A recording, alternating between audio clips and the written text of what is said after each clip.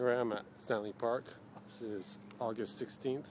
Today I'm playing uh, golf with Trisha and uh, a new friend, Jan.